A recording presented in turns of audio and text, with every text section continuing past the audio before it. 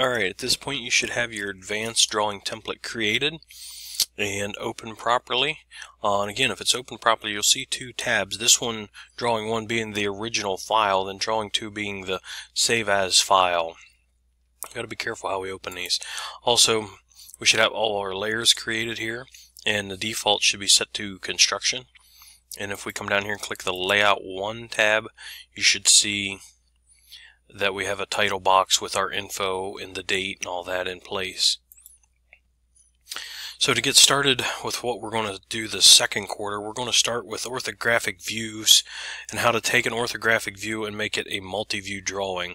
So to better explain that, let's look at the drawing we're going to do today. So this drawing has been drawn in an orthographic view or an orthographic projection. So basically 3D for lack of better words.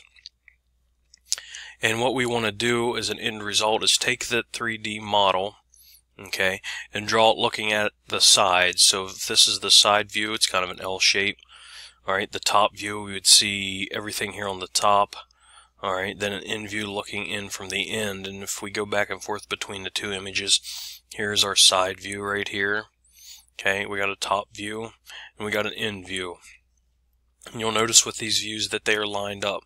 Okay, so this bottom line runs straight across, and this other line runs vertically here, so they're lined up. This one isn't like sitting over or anything like that. So again, this is an orthographic view. This is a multi-view drawing with a side, top, and end view. So we're going to go ahead and get started by creating that, and we'll use this to get our information from. So let's jump back over to CAD here and get started. To get started, we're going to draw a few guidelines or construction lines to help us get started. Excuse me. So to do that, I'm going to come up here to my draw section of my toolbar and I'm going to hit the draw drop down and I'm going to start by drawing a construction line. Choose it. I'm going to right click. I'm going to choose horizontal or vertical. We'll start with the um, horizontal ones first. So there's a horizontal construction line. It travels infinitely in either direction. And I'm just going to pick a place here on my screen to get started. Then from there, I'm going to hit escape.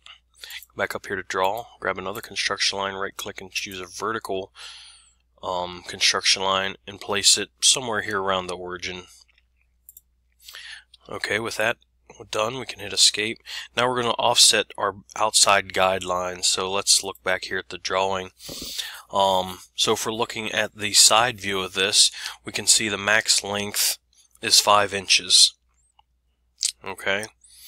Then the width of this part, it looks like we can see here the widest point is 3 inches. So let's take those two numbers and come back in here to CAD. So I'm going to do an offset of 5 inches.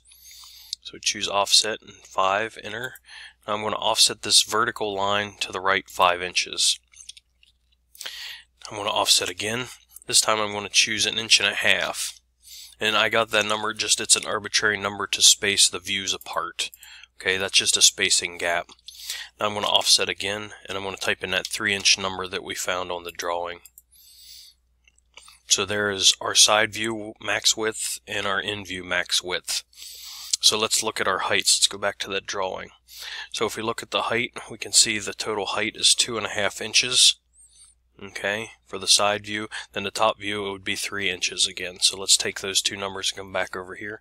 We're going to offset 2.5, and this time we're choosing the horizontal line, and we're going to bring it up. Then hit escape. I'm going to offset again, this time it'll be that 1.5. Again, that's just for spacing purposes. It could be any distance, it doesn't really matter, but one and a half will work. And we're going to offset three inches. Alright, so let me just zoom in here a little bit and hit escape.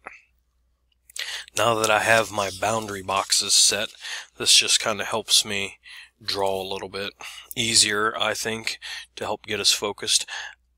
so after I have those, I'm going to come up here to my layer, and I'm now going to choose my object line layer. I'm going to choose a line tool and I'm just going to come outline my basic shapes here. So I'm just going to outline my rectangles. So there's one. I'm going to outline this one. Okay. And I'm going to outline my third one. Just draw the rectangle. And depending on the drawing, these could be different shapes, but today they're rectangles and squares. So once I have that, I'm good to go. If this line weight being so thick is annoying, you should have turned on line weight uh, when we created the template. If not, you come over here, make sure line weight is checked. That'll give us this little dialog box here. We can toggle the line weight off or on. Okay, keep that in mind. Now that I have my four basic shapes outlined, we're simply just going to go back and forth between the drawing and the CAD file, adding details, focusing on one view at a time. So we're going to start by focusing on this, this side view right here. So if we come back over here and look, uh, the next big detail we need to note is this little gap here. Alright, that's a quarter inch wide. Alright, and the next little note we'll need to make note of here is this taper that starts, and that's an inch and three quarters. So we're going to go ahead and check that out. Also, the other thing is the thickness of this base. Alright, and we don't see a number for that right over here, but if we look over here on the side, they put the one inch marker right here. So let's take those three numbers and come back and add some detail. I'm just going to do that by offsetting. So offset one inch. Okay, and I'm going to bring the bottom line up. Okay, and then I'm going to offset. Let's go back here and look. The, the thickness or the width of this part here is one inch as well. So let's offset that one inch. Get a hold of that line. And there we go. We'll come back in and add this little detail here in a minute, but there's the rough shape, so let's go ahead and trim that.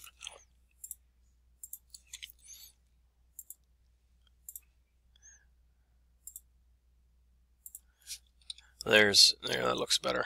Alright, I'm going to turn my line weight off. I think that's a little bit annoying. Next thing that I want to do is come up here and we'll add some detail to this top view real quick. And I'm going to start by coming down here and inferring from this point. Alright, I'm going to push straight up. See how it gives me the green dotted line with the X. If you do not get that, you want to make sure you have object snap tracking turned on and polar tracking turned on. So I'm going to infer from here, push straight up and click. I'm going to draw my line just like so. Now I'm going to do an offset. Again, I'm just adding details going back and forth from this drawing. Here, I'm just looking at stuff. So the next detail is the inch wide parts. so I'm going to offset one offset, and offset. We just divided it in three sections basically. The next thing we want to work on is our little taper here. You can see how it tapers in. Uh, looks like a quarter inch by one and three quarters. So we can do that. That's kind of tricky. So I'm going to grab my line tool and I'm going to choose snap from and I'm going to start on this point here. So snap from this point and I'm going to choose at um, 0 comma negative 0.25 alright that's my first point a quarter inch down and my next point would be snap from at um, negative 1.75 comma 0 I had to think about that for a second and it looks like I messed that up Nope, there went. I clicked. Alright, so that looks good. So I'm going to repeat the same thing here on the bottom. Alright, so now that we got both of these tapers done, okay, and again, I'm just looking here, and it's a quarter inch and one and three quarters. Alright, the coordinates, you just have to switch them, okay, or you can cheat and draw some extra lines then erase those. I'm going to go ahead and trim.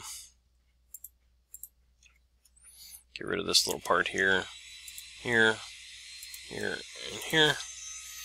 Okay, I can turn my line weight back on if that helps you see things a little bit better. Again, to get those tapers, I'm just using a line tool and the snap from and some coordinates. If you don't like that, that's okay. You can do it the way you think is best. Alright, um, now I'm going to draw a circle. Alright. The circle is going to have a diameter of 1, so I'm going to take that. I'm going to say snap from this point and I'm going to put at uh, negative 2.25 comma negative 1.5 give me my center point then a diameter of 1 and that'll locate that circle for me and the last thing there I just need to do a little more trimming I'm going to get rid of this piece and this piece right here. I'm going to get rid of these two lines here now. I don't need them any longer. And I don't think I have things properly selected for trimming, so I'm going to reselect here. Get rid of that piece and that piece. There, that looks better. The last thing I want to do is create my little indent. So let's look at the original drawing here, this little indent. Okay, and it comes in a quarter and is a half inch deep. So let's go ahead and offset for that. So I'm going to offset 0.25. Alright, then we're going to offset a half an inch, 0.5. And it gets it kind of confusing, so I'm going to turn my line weight off again. Now I'm just going to trim and clean this up.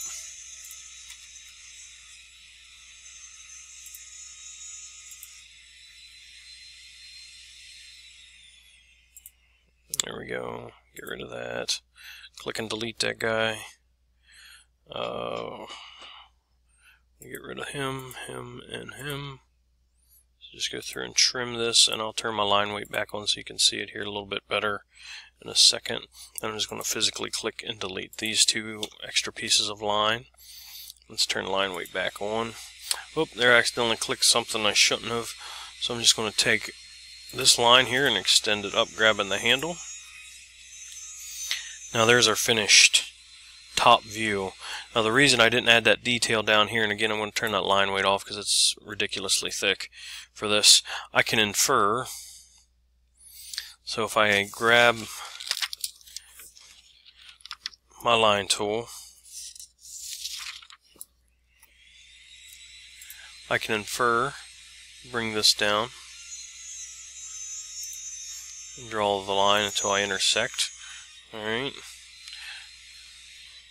That looks good. Now I'm going to leave that go until I can infer and bring in some other information from over here on this, this view here.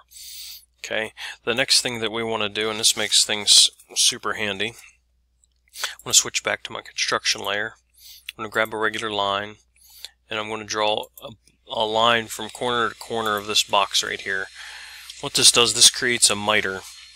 And what it'll allow us to do is to offset points along this drawing, then translate them at 90 degrees down to this drawing so that we don't miss any details. So I'll show you how we can do that. Again, you're still in a construction layer. We're going to come back in here to a construction line. And we're going to do a horizontal construction line first. So we already have our outmost point because we have a gray line here. We're going to come into our next major intersection, which would be here. And click to place a line. Then we're going to come down to this next major intersection where something happens and click. Same here. Then we want to grab our midpoint of our circle. Go back to this point, and it's just a mirrored image then at this point. Bring all those lines over. Okay, so play basically any time there's a change in the line work, you're going to click to translate this over. Now the neat part is we're going to grab another construction line and set it to vertical. And we're just going to follow up this miter line. Any place there's an intersection or green X, we're going to click minus the outside two lines. Now everywhere there's a line on this end view, we need to create some sort of matching line. Okay, it's some sort of detail it has to show through. So let's grab a couple ones that are easy to get first. I'll turn my line weight back on to help help us see that a little bit more. First we're going to do, we're going to translate this line over. So I'm going to grab that, hover. Oops, and I didn't click and change my layer to my object layer. So if you do the same thing, you can click the line, come up here and change the layer. Alright, and it'll manually shift it to the appropriate layer for one time. Then if you remember, hey, I need to be on object lines, you need to come up here and change that permanently. Okay. Now the next thing I want to do is just grab my line tool and fill in my other hard lines that we need to have here. Now that we drew that short line first, we're going to come in here and fill in this with an object line. So that's where that little taper is. Okay, if you can see the taper here, that's this line and this point right here. Alright, and it would be the same on the other side because it's a mirrored image. Alright, the next place we need to have a line is at the edge of our circle. Okay, so this line we're drawing is this long line here. Same with here.